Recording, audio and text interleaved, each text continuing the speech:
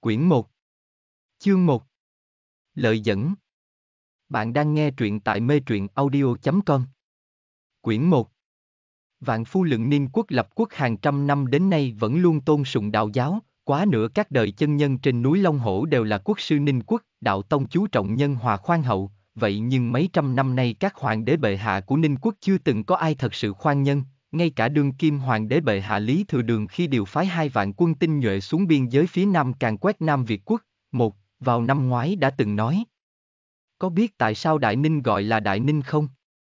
Bởi vì có Đại Ninh ở đây, ai dám không an ninh, nguyên nhân diệt Nam Việt quốc chỉ là mấy con sơn dương của Nam Việt quốc đã quá cảnh gặp ba cây cải thảo trong ruộng rau bên phía Đại Ninh, hoang đường không, hoang đường hay không hoang đường thì trong lòng bản thân hoàng đế Nam Việt quốc biết rõ, nhưng trên đời duy nhất không có thuốc hối hận, ba cây cải thảo, ba vạn quân tinh nhuệ, một quốc gia truyền thừa 300 năm cứ như thế bị tiêu diệt.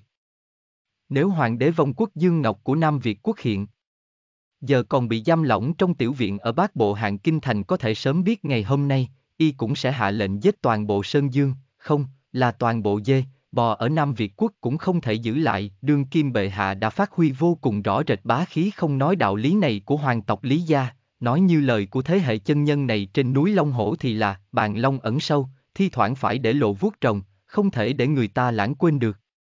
Điều rất kỳ quái là bắt đầu từ mấy năm trước, thiền tông Tây vực hưng thịnh ở Đại Ninh, hoàng hậu nương nương liền chí thành tín đồ, nàng ta còn khuyên hoàng đế, nói thiền tông chú trọng hành thiện, chú trọng nhân quả, sao bệ hạ không nghe thêm lời đại đức cao tăng, Lý Thừa Đường nói.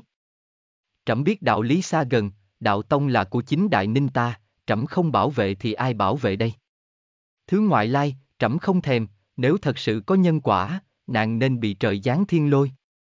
Từ đó về sau hoàng hậu nương nương cũng không bao giờ vào chùa miếu nữa, chỉ thi thoảng cúng hương đến ở trong cung của mình, 12 năm trước, không biết tại sao, hoàng hậu nương nương lúc ấy vẫn chưa là hoàng hậu nương nương đã vào đạo quán lần cuối cùng, từ đó về sau thì bắt đầu đổi sang thờ thiền tông, khi đó Lý Thừa Đường vẫn là vương gia, người ngồi trên hoàng vị là ca ca Lý Thừa Viễn của y, trong một ngày hết sức bình thường 12 năm trước, hoàng đế Lý Thừa Viễn đột nhiên nôn ra máu.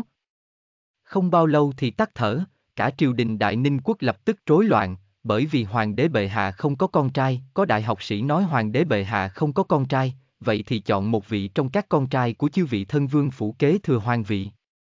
Vậy nhưng lúc này đứa trẻ lớn nhất chưa quá 7, 8 tuổi, đại học sĩ có tâm tư gì cũng đã rõ rành rành, nhưng trong tay đại học sĩ có thực quyền, cả triều có một phần ba quan viên xuất thân là môn hạ của lão ta, ngay cả hoàng hậu cũng không dám nói thêm gì, chẳng có ai ngờ được là vào ngày người ta vội vã đưa vị thế tử điện hạ được lựa chọn từ Giang Nam đến Kinh Thành. Đại tướng quân trấn thủ biên giới phía đông Bùi Đình Sơn dẫn theo 9.000 đao binh chắn ngang ở bên ngoài Kinh Thành. Vị đại tướng quân lãnh binh chinh chiến khắp nơi này dựng một cái chòi hóng mát ở cổng thành, ông đao ngồi khoanh chân ở đó, chỉ nói một câu. Lưu Vương không đến, Đào binh không tán, Lưu Vương, chính là đương kim bệ hạ Lý Thừa Đường, tám vạn dũng sĩ trong kinh thành không dám động, thật sự là không dám động ư, ai cũng biết, khi còn trẻ Lưu Vương đã có uy danh trong quân, thế là vị thế tử điện hạ kia công đuôi bỏ chạy, ngay cả cổng thành cũng không dám vào, thế là vị đại học sĩ kia ngửa mặt lên trời thở dài mắng một câu đế giáp mãn phu, làm việc thô lỗ như vậy, chẳng chú ý nho nhã một chút nào. Có vấn đề gì không, chẳng có gì, chính trong. Đêm Lý Thừa Đường sắp khởi hành về Kinh Thành vào 12 năm trước, thê tử của y đã vào đạo quán, gặp một đạo nhân, làm một việc mà sau này Lý Thừa Đường hết sức giận dữ, nhà mẹ đẻ của hoàng hậu tương lai đó vốn là gia tộc vô hạn phong quan bị dồn ép suốt 12 năm, đến giờ ngay cả một chức quan trên tứ phẩm cũng không có, hết sức chật vật, nhưng hoàng hậu cũng không hối hận, cắn răng chống đỡ, báo ứng ác độc hơn nữa cũng không sợ, ngày hôm đó, con trai độc nhất của nàng ta vừa tròn một tuần. Tuổi, năm đó, đạo nhân trẻ tuổi trong đạo quán ấy đã thở dài một tiếng, mệnh của ta do trời quyết định, trong đêm tuyết lạnh ném món đồ hoàng hậu đưa cho gã rồi bỏ đạo quán về quê nhà, ngày ngày tự trách. Chú thích, một Nam Việt Quốc